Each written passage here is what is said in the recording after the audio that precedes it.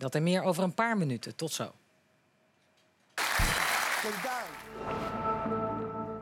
Dit is NOS op 3 van dinsdag 17 mei. Goedenavond. Er wordt al druk gespeculeerd over de opvolging van Dominique Strauss-Kaan. Terwijl de IMF-topman de komende dagen doorbrengt in een van de meest gewelddadige gevangenissen van New York, Rikers Island. Samen met 14.000 andere gedetineerden. Heel anders dan de Franse media. Die spreken er vooral schande van hoe hij wordt behandeld. Over Strauss-Kaan en zijn buitenechtelijke relaties gaan al jaren verhalen eronder. Daar zijn de Fransen wel aan gewend.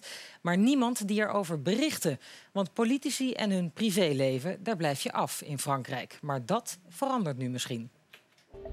De behandeling van leukemiepatiënten loopt gevaar door een tekort aan medicijnen. De twee grote fabrikanten zeggen dat ze problemen hebben met de levering van het middel Cita-Rabine. Het Erasmus Medisch Centrum, gespecialiseerd in leukemie, verwacht met twee tot drie weken zonder medicijnen te zitten.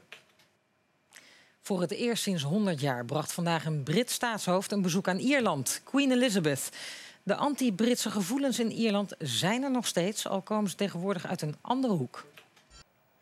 En er was er meer nieuws, vind je op onze site. Morgen vanaf half zeven zijn we weer te horen op 3FM. Hier gaat Paul de Leeuw verder. Fijne avond.